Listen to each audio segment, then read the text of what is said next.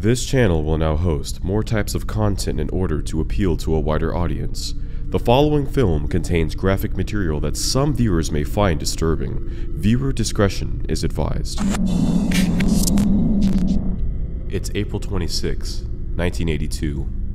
Uiryeong County, South Korea. The man you see before you is a 27 year old South Korean police officer. He has a girlfriend and he lives a very normal and conventional life. However, everything would change later that night when he was responsible for one of the most deadliest attacks in modern history. He was responsible for killing 56 people and injuring 35. His name is Woo Bum-Kon. Woo had an argument with his girlfriend, Chun Mal-sun, on the afternoon of April 26, 1982. She had awoken him by swatting a fly on his chest Enraged, he left the house and he went straight to the police station, where he then reported for duty at about 4 o'clock in the afternoon. According to early reports, he began to drink heavily. Later that afternoon, at about 7:30 p.m., Woo returned home. He began to punch and kick his girlfriend. He then smashed the furniture before making his way to the reservist armory, and he gathered an arsenal consisting of two M2 carbines, a large amount of ammunition, and several hand grenades. Some reports stated that other officers were at a meeting, and he therefore managed to grab the weapons completely unnoticed. Some officers did mention that he had intimidated the guards to gain access. It got even worse later that night. At approximately 9:30 p.m., Woo had shot his first victim. 26 year old Son Jun Tae had lost his life that night. He was standing outside the police station when he was killed in cold blood by Woo. Woo had entered the local post office where he had killed three more people.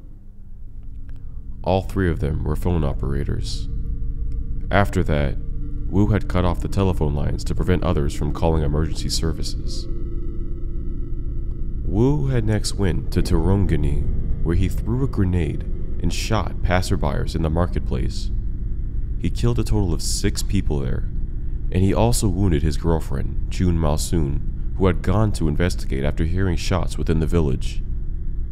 From that point on, Woo had proceeded from village to village, taking advantage of his position as a police officer to gain entry into the houses and to shoot the people who lived there in cold blood. As his murderous rampage continues, at about 10:30 p.m., Woo took an 18-year-old by the name of Kim Ju-dong hostage. He ordered the boy to get him a soft drink from a grocery store that they stopped by. The store was owned by a 52-year-old man by the name of Shin Wei-du.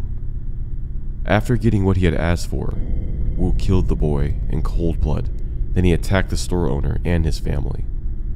Shin Wei-du managed to escape after being shot in the leg, Unfortunately, his wife and his daughters suffered a much worse fate. They were killed in the action. Woo had continued his shooting at the marketplace, killing a total of 18 people in this village. Woo had visited the neighboring village by the name of Pyeongchang. He snuck into the house and he murdered a family of four in their beds. And then he went to a house where there was a wake in progress a wake, which is also known as a funeral reception, is an event where close friends and family of a deceased person gather together to pay their respects to their loved one. Therefore, as Woo made it to this house, the owner of the house saw the armed policeman and he asked him what had happened. Woo had explained to him that there was an alert, as North Korean agents have been spotted in the area. The man had then invited Woo into the house for dinner. While they were eating dinner, one of the guests had made a comment towards Woo. They had said that his ammunition didn't look real. That set Woo off, and he immediately began shooting at the guests. He killed 12 people in that house. He made his way outside into the streets and he killed another 8, thus leaving a total death toll of 24 people in Pyeongchang. Police were alerted within minutes of the first shots being fired. It took them over an hour to gather a team of 37 officers to search for the gunman. The National Police headquarters in Seoul were not informed until about 1:40 in the morning. At around that time, about two and a half miles away from the police station, Woo had found refuge in a small farmhouse, which belonged to a 68-year-old named Soon In-soo, whom he told that he was chasing a communist infiltrator and that the family should gather within the main room of the house so he could protect them. When the family gathered, at his request, Woo had held them hostage. A couple hours pass, and the police eventually catch up with him. The forces begin to close in on the location.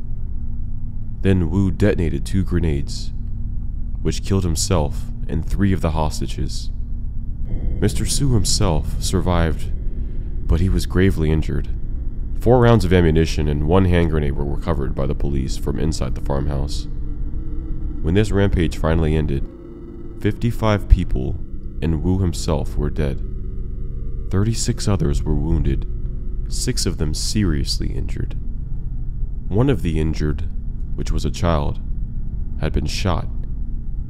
The child died on May 8th, bringing the death toll to a total of 56 people. At that time, 34 people were still being treated in hospitals. Chun Malsoon, his girlfriend, later stated that her boyfriend Woo suffered from an inferiority complex, and he had been bothered by villagers' comments on their living together unmarried. Later on, the provincial chief of police was suspended, and four other officers were arrested for negligence of duty. I would like to thank everybody for listening. This was a very unfortunate event in history. May everyone involved rest in peace.